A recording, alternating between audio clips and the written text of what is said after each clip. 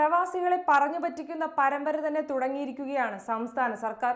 അവരുടെ ക്ഷേമത്തേക്കാൾ പ്രവാസികളുടെ പേരിൽ പണം വകമാറ്റി ചിലവാക്കാനും ദൂർത്തടിക്കാനുമാണ് സർക്കാരിന് താല്പര്യം പ്രവാസി നിക്ഷേപ പദ്ധതിയുടെ ഭാഗമായി ആരംഭിച്ച പ്രവാസി ഡിവിഡൻഡ് എന്ന പദ്ധതിയുടെ നടത്തിപ്പിനായി രണ്ട് കോടി രൂപ അനുവദിച്ചുകൊണ്ട് ഇപ്പോൾ സർക്കാർ ഉത്തരവിറക്കിയിരിക്കുകയാണ്. അതിൽ ഒരു കോടി രൂപ ഭരണപരമായ ചിലവുകൾക്കാണ് ഉപയോഗിക്കുന്നത്. ബാക്കി ഒരു കോടി രൂപ കൊണ്ടാണ് ഡിവിഡൻ പദ്ധതി നടപ്പിലാക്കുന്നത്. പദ്ധതി നടത്തിപ്പിനായി രണ്ടു കോടി രൂപയാണ് ചോദിച്ചതെങ്കിലും ഒരു കോടി രൂപ ആദ്യഘട്ടമായി അനുവദിച്ചിട്ടുണ്ട്.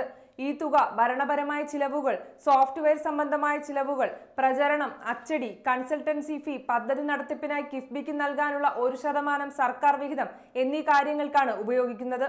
സി പി എം സഹയാത്രികരായ ഉദ്യോഗസ്ഥരെയും അവരുടെ ശിങ്കിടികളെയും തീറ്റിപ്പോറ്റുക എന്നതാണ് പ്രവാസി ക്ഷേമത്തിന്റെ പേരിൽ ഇവിടെ നടപ്പിലാക്കുന്നത്. പ്രവാസി ക്ഷേമത്തിന്റെ മറവിൽ നോർക്ക ഓഫീസ് മോടി പിടിപ്പിക്കാൻ രണ്ടു കോടി രൂപ ചിലവഴിച്ചതിന് പിന്നാലെയാണ് പ്രവാസി ഡിവിഡന്റ് പദ്ധതിക്ക് പ്രചരണം കൺസൾട്ടൻസി തുടങ്ങിയ പരിപാടികൾക്കായി ഒരു കോടി രൂപ കൂടെ ചിലവാക്കുന്നത്. ഗൾഫ് നാടുകളിൽ തൊഴിൽ നഷ്ടപ്പെട്ട് നാട്ടിലേക്ക് വരാനാകാതെ നരകിക്കുന്ന പ്രവാസി മലയാളികൾക്കായി ഒരു നയാ പൈസ പോലും ചിലവാക്കാനാകാത്ത സർക്കാരാണ് പ്രവാസിയുടെ പേരിൽ ഇത്തരം ദൂർത്തുകൾ നടത്തുന്നത്.